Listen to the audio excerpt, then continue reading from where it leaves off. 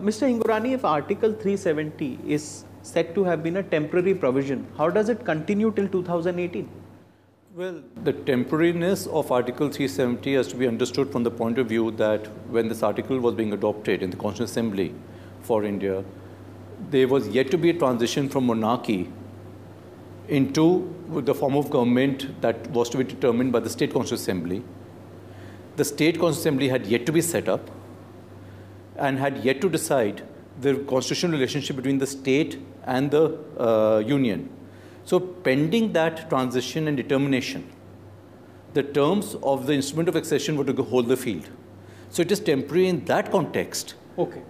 It is not temporary in the sense that article, of course, article can have uh, 370 could have been done away with with the consent on the recommendation of the State Constitutional Assembly, but that was not the primary reason or basis for calling it temporary.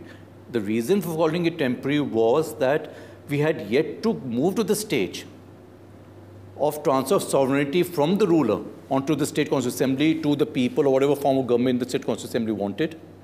And then the, it was, in Premnath Kaul's case, the constitution bench of the Supreme Court has emphasized that it was the final decision of the state constitutional assembly which was the, the key to determining the uh, relationship between India and the state. Okay, the challenge seems misdirected as per Aman, but as we see, uh, at least three points become clear here that Jammu and Kashmir acceded to India, didn't merge with India. Uh, and we signed the instrument of accession. Uh, both countries, Jammu and Kashmir is an integral part of India.